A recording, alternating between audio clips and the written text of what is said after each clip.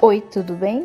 Vamos fazer esse delicioso lanche de mandioca. A gente vai precisar de uma quantidade de mandiocas cozida apenas com o sal. É, ralamos no ralador fino, esse que a gente rala cenoura. Precisar de um ovo e 200 gramas de queijo mussarela, ou queijo que vocês preferirem.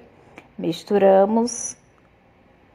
Colocamos também duas colheres de sopa cheia de amido de milho.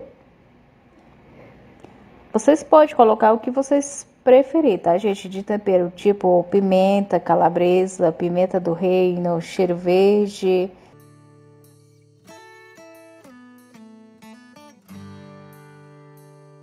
Se você não usa fritura, pode assar no forno, na sanduicheira dá super certo também. Depois que misturar bem, esse é o ponto. Passamos na mão um pouco de manteiga ou óleo modelamos as nossas bolinhas.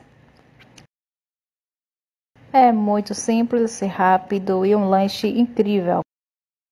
Pois isso a gente vai levar para assar na manteiga ou óleo ou margarina, o que vocês preferirem.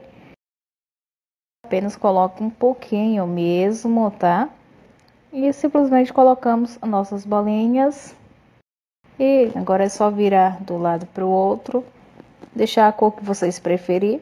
Eu espero que vocês tenham gostado. Obrigada a todos. Até o próximo.